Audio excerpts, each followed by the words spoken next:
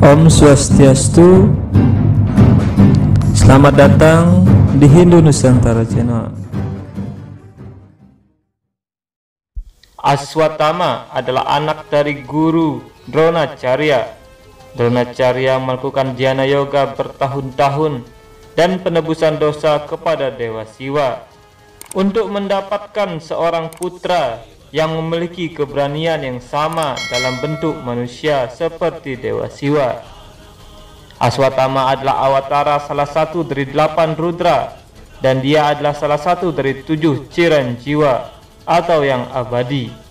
Aswatama adalah satu-satunya yang masih hidup yang benar-benar bertempur dalam perang Kurukshetra. Aswatama lahir dengan permata di dahinya. Permata ini melindunginya dari serangan hantu, setan, serangga beracun, ular, hewan, dan lain-lain. Karena kesalahan Aswatama yang membunuh janin untuk memutuskan keturunan Pandawa, Sri Krishna kemudian mengutuk Aswatama bahwa dia akan membawa beban dosa semua orang di pundaknya dan akan berkeliaran sendirian seperti hantu tanpa mendapatkan cinta dan kasih sayang sampai akhir kali juga. Dia akan berada dalam isolasi total dari umat manusia dan masyarakat. Tubuhnya akan menderita sejumlah penyakit yang tak dapat disembuhkan berupa luka dan bisul yang tidak akan pernah sembuh. Aswatama diminta untuk menyerahkan permata di dahinya. Sri Krishna menyatakan bahwa luka yang dia sebabkan oleh pencabutan permata di dahinya tidak akan pernah sembuh dan akan menderita kusta sampai akhir kali juga. Aswatama akan mencari kematiannya setiap saat, namun dia tidak akan pernah mati. Orang-orang pada zaman ini bertanya apakah Aswatama masih hidup atau tidak. Ini adalah beberapa bukti tentang keberadaan Aswatama. Bukti yang pertama yaitu Aswatama dilihat oleh seorang karyawan kereta api. Artikel surat kabar berusia lebih dari 15 tahun lalu memuat tentang seorang karyawan kereta api yang sedang cuti selama perjalanannya di hutan Nausari, Gujarat. Dia telah melaporkan seorang pria yang sangat tinggi sekitar 12 kaki dengan luka di kepalanya.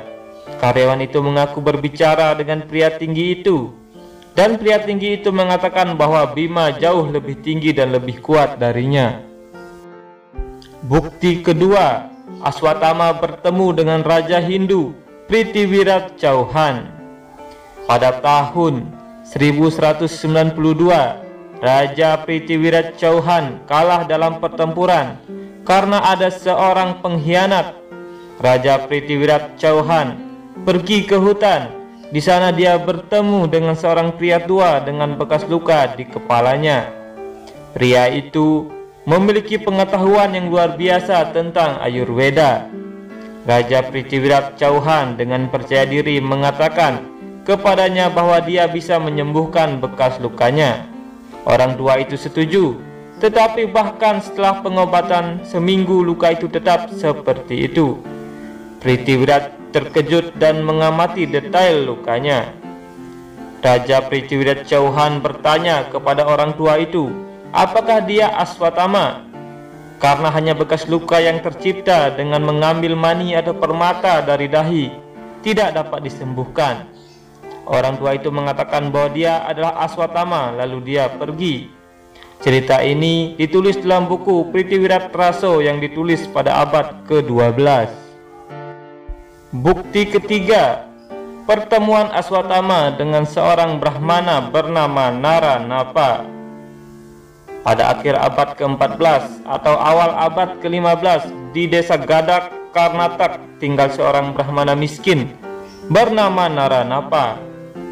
Keinginan terbesarnya adalah menulis Mahabharata berdasarkan sumber asli. Dan untuk tujuan ini, dia berdoa hari demi hari di kuil Wira Narayan. Suatu hari, Yang Maha Kuasa memutuskan untuk menjawab doanya dan muncul dalam mimpinya dan berkata, Hadirilah dua paran yang akan datang di kuil Wira Narayan. Perhatikan satu-satunya Brahmana yang akan meninggalkan pesta paling awal. dia tidak lain adalah Aswatama yang menyaksikan Mahabharata. Bersujudlah di kakinya dan minta dia untuk menceritakan Mahabharata seperti apa yang dia ketahui. Anda dapat menulisnya dan akan menjadi bagian ketenaran Anda. Segera Naranapa menghadiri dua paran di kuil Narayan dan kemudian mengikuti Brahmana yang menyelesaikan pestanya paling awal dan mulai berjalan keluar dari kuil. Naranapa mendekatinya dan bersujud di kakinya dan berkata, Aku tahu siapa kamu, kamu adalah Aswatama yang sama dari Mahabharata. Tolong bantu aku. Aswatama terkejut dan bertanya, bagaimana anda mengetahui hal ini? Naranapa menjawab dengan mengatakan, Wira Narayan suami muncul dalam mimpinya dan mengatakan demikian kepada saya. Aswatama sangat senang mendengarnya dan bertanya pada Naranapa, Oke, katakan padaku apa yang bisa aku lakukan untukmu. Naranapa menjawab dengan mengatakan dia ingin menulis Mahabharata sesuai aslinya. Aswatama setuju, tetapi dengan dua syarat. Dia berkata bahwa Naranapa harus mulai menulis Mahabharata setiap hari setelah dia selesai mandi dan mengenakan pakaian basah. Aswatama berkata, kamu bisa terus menulis saat pakaian Anda basah dan saat pakaian Anda mengering, tulisan Anda akan berhenti. Aswatama juga menetapkan syarat bahwa dia tidak boleh mengungkapkan rahasia ini. Jika gagal, cerita ini akan berhenti selamanya. Naranapa setuju dan mulai menulis setiap pagi. Naranapa yang diliputi kegembiraan mengungkapkan rahasia ini kepada istrinya. Dan alur tulisannya pun berhenti saat menyelesaikan Gada Parwa yaitu pertarungan antara Bima dan Duryudana. Bukti keempat yaitu Aswatama bertemu orang tua dari suami Narayan. Orang tua dari suami Narayan dalam perjalanan pulang suatu malam dan butuh waktu 28 hari bagi mereka untuk kembali ke desa Capaya, tempat kelahiran suami Narayan. Saat mereka berjalan melalui hutan mereka tersesat. Mereka melihat Brahmana tinggi berkeliaran di dalam hutan. Mereka meminta arahan darinya Brahmana dengan suara yang dalam bertanya dari mana mereka berasal. Mereka tampak ketakutan. Dharmadev menjelaskan bahwa mereka baru pulang dari Vrindavan. Dharmadev lebih jauh menjelaskan seluruh kejadian itu juga menceritakan kepadanya bagaimana mereka mendapat wahyu dari Sri Krishna dan Sri Mati Radharani di Vrindavan. Brahmana itu berbicara dengan nada marah dalam suaranya Sri Krishna musuh bebuyutanku memberi karunia anak padamu.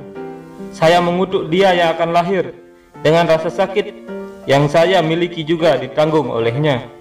Bahwa dia sebagai anakmu tidak akan pernah bisa membawa senjata dan juga tidak akan bisa berperang dengan apa pun.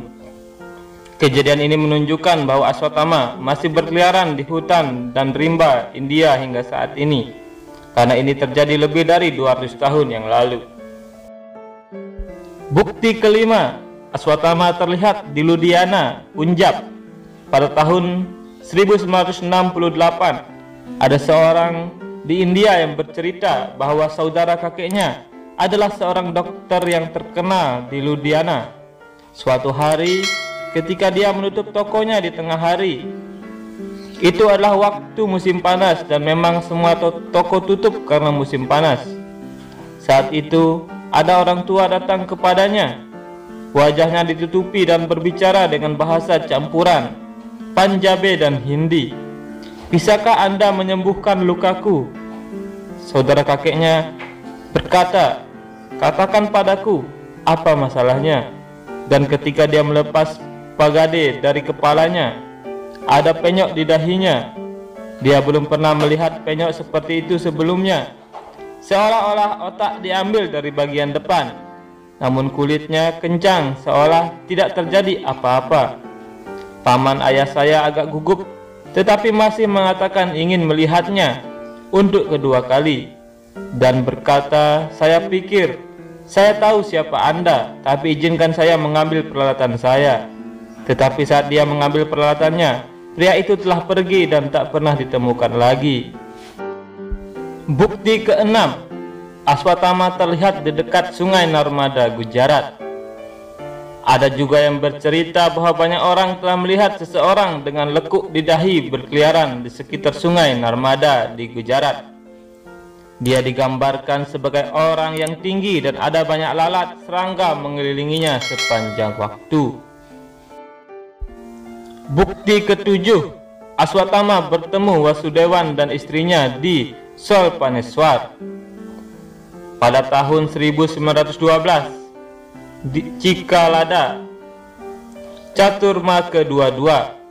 Wasudewa dan istrinya melintasi hutan lebat Sulpaneswar dekat Katarkeda Gujarat dan dia tersesat. Tidak dapat mencapai kota di hutan lebat. Orang aneh muncul di depan Wasudewan dan menawarkan untuk membantunya menemukan jalan yang benar untuk keluar dari hutan.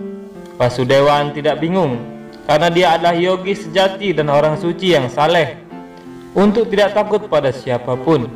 Wasudewan mengamatinya dengan seksama dan melihat fisik dan karakteristik yang sangat aneh. Ketika mereka hampir mencapai ujung hutan, orang asing yang membantu Wasudewan berkata, "Kamu sudah dekat dengan kota. Saya tidak bisa menemani Anda lagi. Ini tempat terjauh yang bisa saya datangi." Wasudewan menjawab, saya telah mengamati gaya berjalan Anda, perilaku dan fisik Anda sangat tajam. Tak satu pun dari fisik Anda tampak manusiawi bagi saya. Kamu siapa? Apakah kamu hantu? Apakah kamu seorang yaksa? Ungkapkanlah identitas asli Anda. Orang aneh itu menjawab, kamu benar. Tak satu pun dari fisik saya tampak normal, karena saya tidak berasal dari yuga ini. Saya termasuk dalam dua para yuga. Saya Aswatama, Pertemuan dengan Aswatama ini ditulis dalam biografi Wasudewan dan Saraswati.